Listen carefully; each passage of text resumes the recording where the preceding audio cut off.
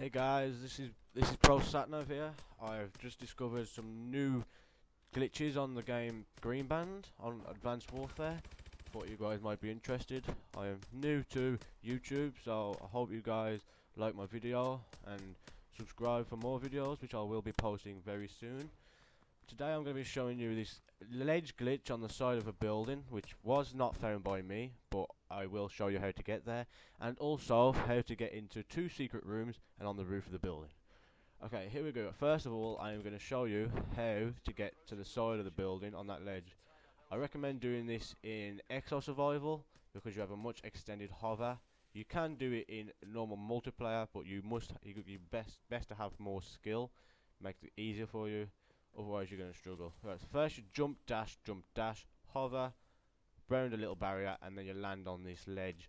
You don't want to move too far to the right because you will fall off the ledge. You can't go all the way down the back because you fall off the ledge again. It's not continuous, so that's unfortunate. This is pretty much all there is. It is a pile-up glitch. If you move close enough to the end, it will start piling up. You can shoot them best have a, gun with infinite ammo, so if you play long enough and get the perk, we can get any gun, you'll be alright. So, that's that's glitch number one. Now we'll move on to the how to get onto the rooftop and two secret rooms.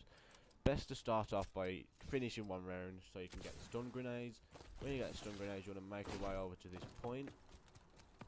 When you get to this point, uh, as I've shown now, you want to jump onto here. You want to pull out your stun grenade and then you want to slowly back down and then pull out your hover. You want to do this three times until you're under the map like that. You want to crouch, move forward, jump up. You'll be on an invisible barrier. You'll see you're under the map. And so far, this is already a cool glitch. You can do anything from here. You can shoot, but you got to be careful not to walk off because there is an end barrier. You want to run, jump, and hover to get to an extended barrier up here, which is really cool too. They do pile up in front of you if you stand here.